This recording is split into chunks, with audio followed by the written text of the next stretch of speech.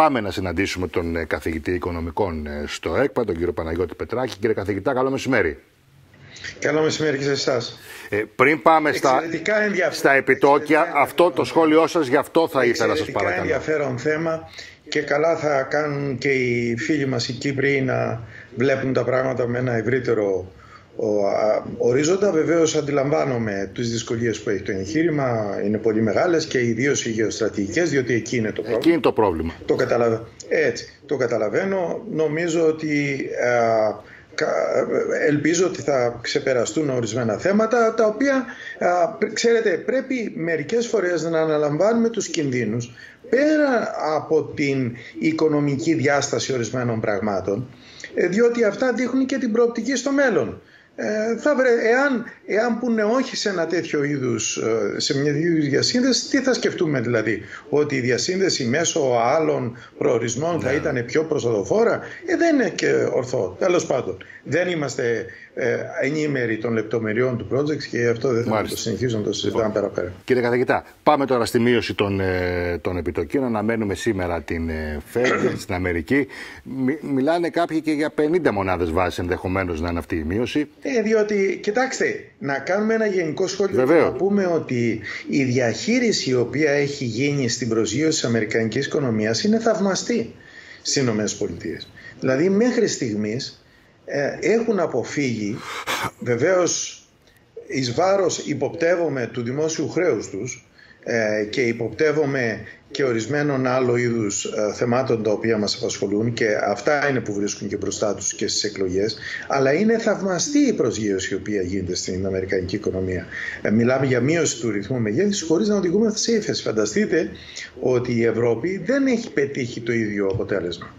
Ε, βεβαίως είναι άλλοι λόγοι δεν είναι ακριβώς ναι. Ε, δεν είναι ίσα και όμοια τα θέματα αλλά ε, ξέρετε τελικά πιστεύω ότι η ύπαρξη πια κεντρικών τραπεζών με τόσο σοβαρό ρόλο είναι ένα, μια σοβαρή ασφαλιστική δικλίδα για την ισορροπία των οικονομιών.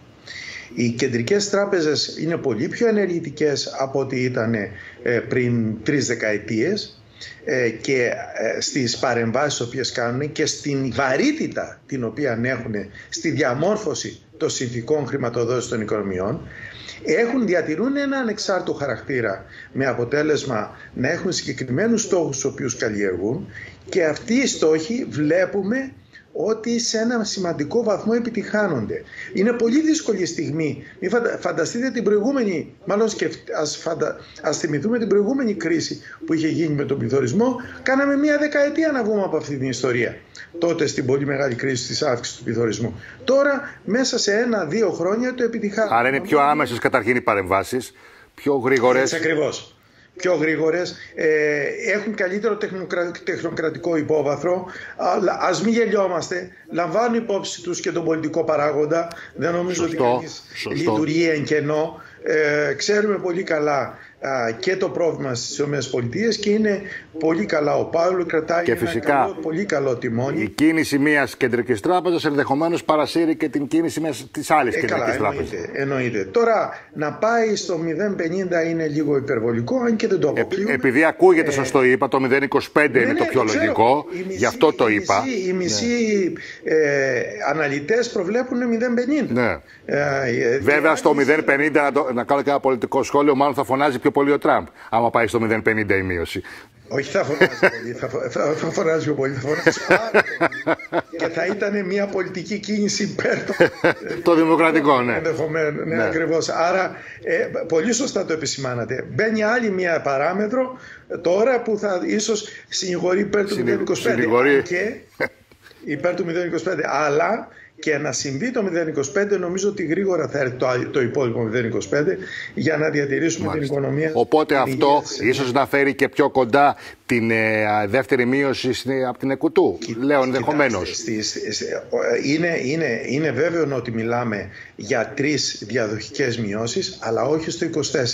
Μία από αυτές θα είναι μέσα στο 24, για άλλες δύο, μία, και οι άλλες δύο θα είναι μέσα στο 25. Αυτή είναι η ρεαλιστική προοπτική και γι' αυτό αν θέλετε κρατούν και οι οικονομίες στις αγορές τους. Να σας πω, ε, βλέπουμε ότι πραγματικά υπάρχει ένα γενικά καλό management, πρέπει να το παραδεχτούμε, χρηματοοικονομικό.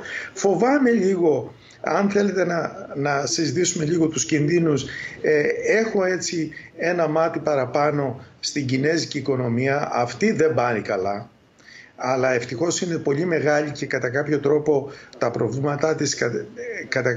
συγκεντρώνονται μέσα σε αυτήν. Αλλά αυτή εάν δημιουργηθεί και η έννοια της εμπιστοσύνης στην Κίνα είναι λίγο ιδιόρυθμη διότι εκεί παίζει πολύ μεγάλο ρόλο το κράτος ευτυχώς διότι πραγματικά τα, τα θεμελιώδη τους σε πάρα πολλούς τομείς είναι προβληματικά. Ε, είναι κάτι, βεβαίως αφήστε το γεωστρατηγικό, μην έχουμε στην Ουκρανία κτλ. Αλλά γενικά έχουμε μια ισορροπία και μην φανταστείτε μια ισορροπία η οποία μας πάει στα βαθιά νερά, μας βγάζει από τα βαθιά ή θα μας δώσει μεγάλη ανάπτυξη. Απλώς είναι μια ισορροπία που μας βοηθάει να χειριστούμε τον πληθωρισμό και να δημιουργήσει προϋποθέσεις για τη, για τη συνέχεια. Τώρα μιας είπατε για τον πληθωρισμό και τα στοιχεία της Eurostat; Τα είδα, τα είδα. Τα είδα προφανώς τα έχετε δει. Ε, 2,2 ευρωζώνη, 3,2 εμείς. Ανεβήκαμε και λίγο. Κοιτάξτε, να σας πω κάτι. Ε, νομίζω ε, το, τον Αύγουστο είχαμε δεν έχω δει την ανάλυση τους, ναι. είδα το γενικό ε, τίτλο, αλλά νομίζω ότι παίξαν δύο, ρόλοι, δύο παράγοντες. Το ένα είναι το ενεργειακό κόστος. Ξέρετε, τον Αύγουστο είχαμε αυτό το περίεργο. και το δεν περίεργο... ήταν ο καύσωνας τόσο. Δεν ήταν ο καύσωνας, αλλά ήταν το πρόβλημα της νοτιοανατολικής Ευρώπης ε, και η Ουκρανία και όλα αυτά. Άρα είναι βέβαιο ότι το ενεργειακό έχει επηρεάσει. Όπως και αυτό που το δεύτερος παράγοντας που έχει επηρεάσει είναι η, η αυξημένη ζήτηση από τον τουριστικό τομέα. Καλό πράγμα είναι, αλλά αντιλαμβάνεστε ότι ασκεί πιέσεις στις τιμές, διότι είναι μια ευκαιρία για τις επιχειρήσεις να αξιοποιήσουν τις δυνατότητες που έχουν. Πείτε μου κάτι ακόμα, σας παρακαλώ, γιατί αρκετή συζήτηση έχει γίνει. Γιατί θεωρείτε, εκτιμάτε, ότι η Moody's ούτε τώρα δεν μας έδωσε την επενδυτική βαθμίδα; Καλή ερώτηση. Ε, είναι μια καλή ερώτηση ε, και ε, ομολογώ ότι και εγώ λίγο ε, περιμένω μάλιστα σήμερα να δούμε τα αποτελέσματα της συγκέντρωσης των 10 δισεκατομμυρίων που ξέρετε κάνει ανανεώνει η Ελλάδα ένα, ένα ομόλογο ναι. με 3,37 ήταν. Λίγα χρήματα ζητάμε βέβαια αλλά ε, ναι, θα δείξει όμω. Τι επιτόκιο, ακριβώς. Θα δούμε τι επιτόκιο ακριβώς. Γιατί έχω την εντύπωση ότι οι αγορές τιμολογούν ως να έχουμε την επενδυτική βαθμίδα.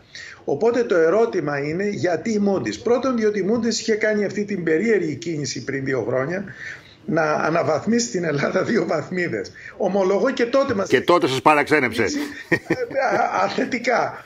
Και τώρα προφανώς κάτι εκεί στο εσωτερικό τους γίνεται ε, και είναι, έχουν γίνει πιο συντηρητικοί. Από την άλλη μεριά είδαμε ότι η Moody's αναβάθμισε τις τράπεζες. Ναι. Προφανώς θέλει να ολοκληρώσει τη διαδικασία αναβάθμισης των τραπεζών για να μπορέσει να προχωρήσει την αναβάθμιση και της ε, οικονομίας.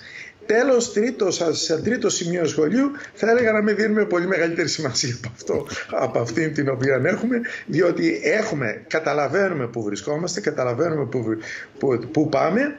Υπάρχει βέβαια ένα θέμα, και αυτό είναι το θέμα α, του, του πολιτικού ρίσκου στην, στην Ευρωζώνη, το οποίο πολιτικό ρίσκο στην Ευρωζώνη, ενώ Γερμανία, Γαλλία, κυρίως Ιταλία όχι, διαχέεται και στις υπόλοιπες χώρες και μάλιστα στις μικρότερες. Άρα θα έλεγα ότι ο, ο πολιτικός ορίζοντας μας δίνει κάποια στοιχεία προβληματισμού ε, και ενδεχομένως ο Ιμούντις θα περίμενε ένα πιο σταθερό περιβάλλον ναι. στην Ευρώπη για να μπορεί να δει με πολύ μεγαλύτερη άνεση ε, τις επιμέρους αξιολογήσεις των επιμέρους χωρών. Ίσως αυτός να είναι πιθανόν και ο πιο σοβαρός παράγοντας από όλους.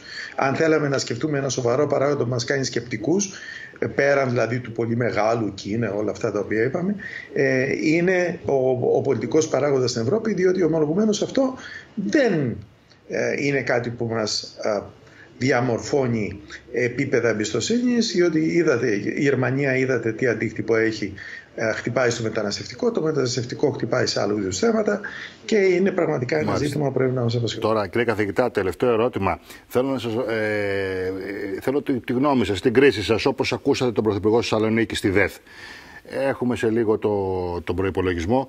Περιμένουμε κάποιοι. Τι περιμένουμε αυτόν τον προπολογισμό από τη νέα οικονομική χρονιά; Κοιτάξτε, ε, ε, η εικόνα του προπολογισμού δεν θα είναι καθόλου διαφορετική από αυτή που, που, που εισπράξαμε από τη ΔΕΘ. Τι κάνει η κυβέρνηση, ενισχύει τη ζήτηση και μάλιστα ενισχύει τη ζήτηση επιλεκτικά σε χαμηλότερα στρώματα, σε στρώματα τα οποία έχουν ανάγκη. Ε, δεν φτάνει αυτό όμως, όπως καταλαβαίνετε. Δεν φτάνει αυτό. Δυστυχώς δεν φτάνει. Δυστυχώς δεν φτάνει, αλλά δεν είναι κάτι το οποίο. Κοιτάξτε, το πρόβλημα του πληθωρισμού αντιμετωπίζεται μόνο με έναν τρόπο. Δια της αυξήσεως των εισοδημάτων. Βεβαίως, να σταματήσεις τις πηγές ανόδου του πληθωρισμού. Ε, Εννοούμε το ενεργειακό. Γιατί αλλιώς θα αυξάνονται συνέχεια και τα δύο. Πού θα φτάσουν, ε, καταλαβαίνετε. Αυτό είναι σπιράλ το οποίο δημιουργεί προβλήματα. Ακριβώς. Μα, μα, κοιτάξτε, και οι, οι μισθοί δεν μπορούν να αυξάνουν ανεξέλεκτα χωρίς να ανεβαίνει η παραγωγικότητα. Ακριβώς. Διότι πας σε μείωση ανταγωνιστικότητας και θα δημιουργήσεις πρόβλημα στον εαυτό σε 2-3 χρόνια. Αυτοί λοιπόν οι οποίοι επαγγέλλονται εύκολες ε, αντιμετωπίσεις του προβλήματος κάνουν λάθος. Είναι πολύ δύσκολο θέμα, με, βάζει πολύ δύσκολα διλήμματα, trade-offs μεταξύ και μάλιστα στους πολιτικούς και όχι στους οικονομολόγους, αν και, και οι οικονομολόγοι έχουν δύσκολο να αποφασίσουν ναι. πώς θα πορευτεί η οικονομία μεταξύ ε, επιτοκίων αυξήσεων των εισοδημάτων. Διότι να πετύχουν την ισορροπία αυτή, λέτε. Βεβαίως, εάν δεν διατηρηθούν τα εισοδήματα σε, σε επαρκές επίπεδο, μειώνεται η αγοραστική δύναμη. Άρα, πάση ύφεση. Βεβαίως, τέτοιο θέμα δεν έχουμε. Γιατί δείτε την αγορά εργασίας, η οποία έχει εκτοξεύσει τις κενές θέσεις εργασίας. Άρα πραγματικά είναι μια συγκυρία που θέλει πάρα πολύ μεγάλη προσοχή στη διαχείριση ε, και δύσκολη, και δύσκολη συγκυρία. Και δύσκολη συγκυρία. Και πολιτικά δύσκολη.